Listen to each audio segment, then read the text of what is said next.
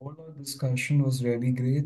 I clarified my doubts and I've get the clarity on what I have to take on 11th and 12th and what should I do after graduation and post graduation.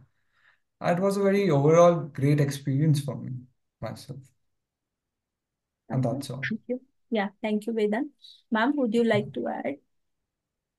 Uh, yes ma'am it was very good because मेरा सबसे पहला जो problem था maths को लेके mean वो एक solve हुआ कि ये कर सकता है maths and because of that ठीक है we came to know like of course we can't you know अभी हम लोग एकदम स्पेसिफिक डिसाइड नहीं कर सकते कि यही बनना है बट एक क्लैरिटी आया and that is that is what we needed the counselling for इसको भी पता चला कि you know there so many it's a vast pool.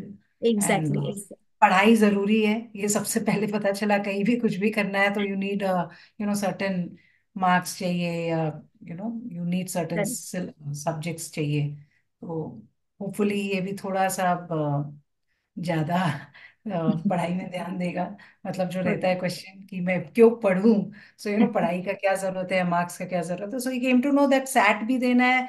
कोई भी अच्छे यूनिवर्सिटी में जाना है the criteria is marks and of course he should be he is clear क्या करना है? मुझे भी थोड़ा कंफ्यूजन क्लियर हुआ कि कॉमर्स लेना चाहिए।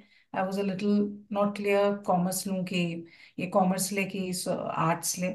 तो आपने बताया कि art will be only mugging up mugging up and अभी तो वो वर्बल वाला पार्ट इतना ग्रेट नहीं है तो it is better to take up commerce तो बहुत क्लैरिटी आया कॉमर्स है एंड या you have given us some options B bachelors in design and bachelors in fine arts and other things वो हम लोग now we have time to think about in at least एक वो एक uh, कुछ एक कुछ मैप दिखा रोड मैप यस गाइडलाइंस आपको मिल गए now you can explore more so that is not sure but अभी एक इमिजिएटली जो मेरे अभी आने वाला है तीन महीने के बाद कि भाई कौन सा आपको करियर ऑप्शन लेना है तो कॉमर्स एक मुझे भी कॉन्फिडेंस आया आपने कहा कि नहीं आप कॉमर्स ही लीजिए विथ मैथ्स लीजिए तो वो है बस मेरे को अब स्कूल में थोड़ा पता लगाने होगा कि फाइन आर्ट्स का भी अगर ये ले सकता है साथ में।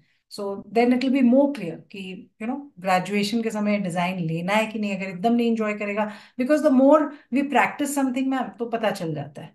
सो so, बहुत क्लैरिटी मिला thank you very much thank you very much एक एटलीस्ट एक बहुत बड़ा बोझ निकला वो एक बहुत बड़ा क्वेश्चन रहता है माइंड में। I can understand yes thank you so much much. Thank you thank you